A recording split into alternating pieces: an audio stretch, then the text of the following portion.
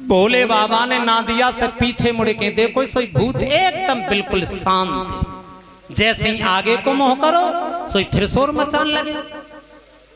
भोले बाबा ने फिर पीछे को मोह करके देखो, सोई भूत एकदम बिल्कुल शांत और जैसे ही फिर आगे को मोह करो, सोई फिर शोर मचान लगे। शंकर जी ने सोची, अब जे ऐसे नहीं मानेंगे। वैसे ना दिया पे आगे को मोह करके बैठे हते। फिर पीछे बरायत की तरफ़ मोह कर लो। दो हाथन से पूछ पकड़ लो अब धीरे धीरे बराय शंकर जी की आगे। को जाए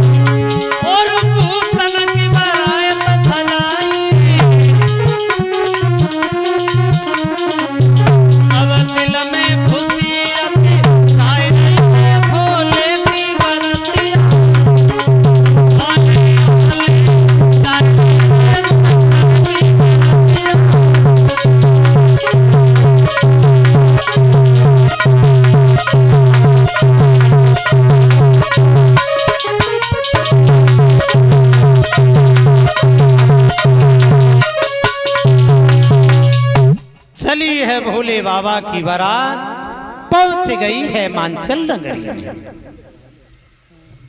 जब है मांचल नगरी में बारात पहुँची है, सबसे पहले गाँव में खबर पहुँची, भोले बाबा बारात लेके आए।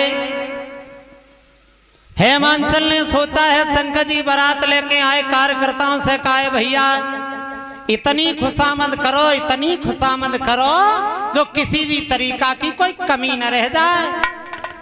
कार्यकर्ता लोग सेवा करने में लग गए। कोई अगर नाश्ता या पानी ले जाता है, जो भूतन को देखते हैं, दो तीन खेत वहीं दूर रख दे तो वहीं से आवाज़ लगात भैया तुम सब लोग मिल बांट के खा लियो, हम तो गए। सेवा तो खूब भई, मगर दूरी दूरी से भई। गाँव में जब खबर पहुँची है, भोले बाबा बरायत लेके आए तो सबसे पहले बरायत की अगवानी लेवे को गाँव के लली लला भाजे। काऊ ने कही, चलो गिरजा जिज्जी के जीजा को देखे आए। काऊ ने कही, चलो गिरजा बुआ के फूफा को देखे आए। बड़ी तेज़ी से घर से भाजत भई गई। और बड़ी तेज़ी से भाजत भई गए। जो भूतन को देखो, काऊ को सरई लुढ़के रहो। धड़ है ही ना है काऊ के धड़ है तो सरई ना है काऊ के घोड़ा की पूछ बंदर को मुँह ऊँट को, गलो हाथी के पैर। जो बच्चन ने बदशा देखी, बड़ी तेज़ी से घसे भाजत भाई गए। बराय तब देख गए और जो बरायत देखी तो उतनी तेज़ी को घर को भाजे। आहा।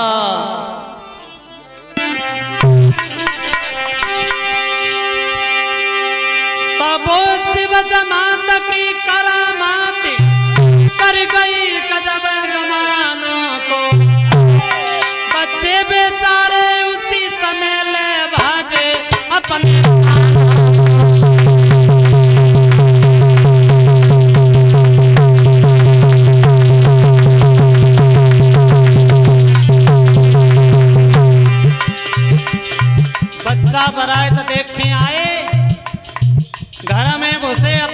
दरवाजे खिड़की बंद कर ले कि खाऊ तरीका से बराए, तमें कोई भूत भटके काउ के घर में न घुस जाए।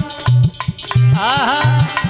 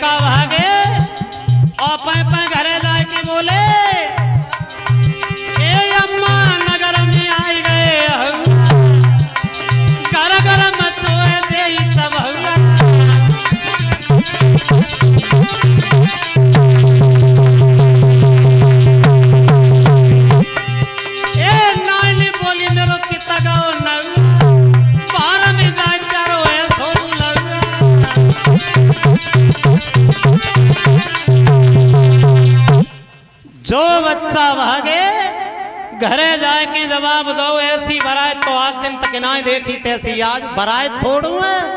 हमें जब मालूम पत्ते गाँव की भाभई आई। हाँ एक लड़का बरायत को देखे, भाजत भव गो, और ऐसे हमारे परीक्षित महाराज जी जैसे बक एक बूढ़े बाबा रहे। उन्हीं के पास हमें बैठो और जवाब दो, बाबा ऐसी बरात तो आज दिन तक नहीं देखी, तैसी आज हुआ आई। बाबा बोले, लला, कैसी आई? लला बोले, सुनो बाबा, ऐसी बरात आई, हमारी तो सांस ही ना भीतर को बैठे थे। ऐसी बरात देखी ना तक जिया होए, धक्का, धक्को।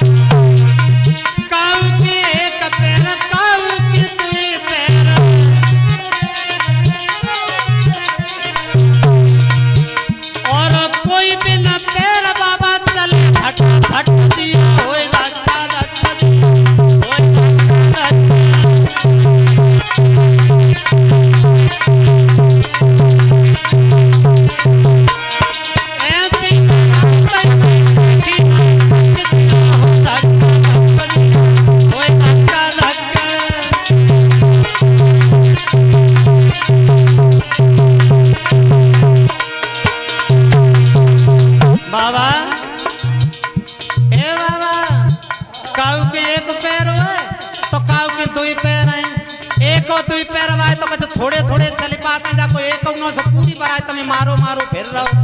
हैं हाँ और सुनो।